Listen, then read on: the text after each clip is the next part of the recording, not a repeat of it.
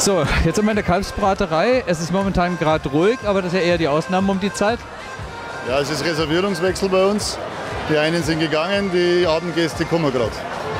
Und jetzt geht, wird wieder Musik gemacht gleich? Ja, wir fangen jetzt dann im Einmarsch an und begrüßen unsere Gäste. Und anschließend spielen wir ein bisschen gemütlich zum Abendessen. Und gegen halb neun ähm, fangen wir langsam aber sicher mit der Party an. Was gibt es denn bei euch zu essen im Zelt? Fangen wir einfach nochmal von vorne an. Was sind die Basics hier? Die Basic ist das Kalb vom Spieß.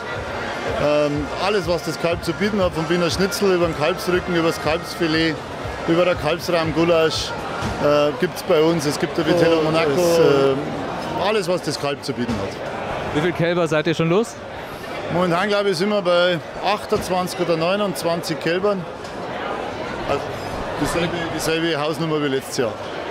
Wie funktioniert das mit dem Kalb bei euch? Das kommt in der Früh frisch an? Ja, wir kriegen in der Früh, jeden Morgen kriegen wir ein frisches Kalb, das sich dann langsam am Spieß den Tag um sich herumdreht und wird dann zum Abendessen und zum Mittagessen, so wie wir es brauchen, ausgelöst und ist dann am Abend weg. Der Rest wird wieder verarbeitet, die Knochen zur Soße und dann bleibt nichts übrig.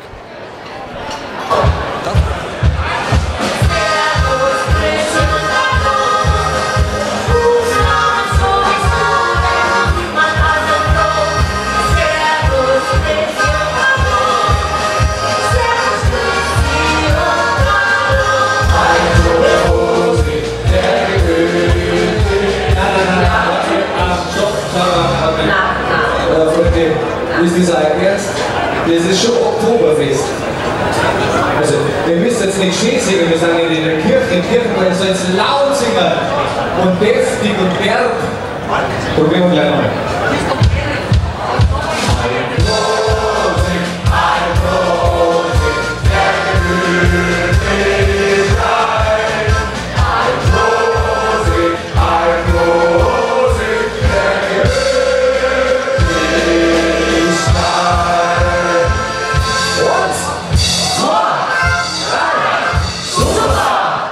two.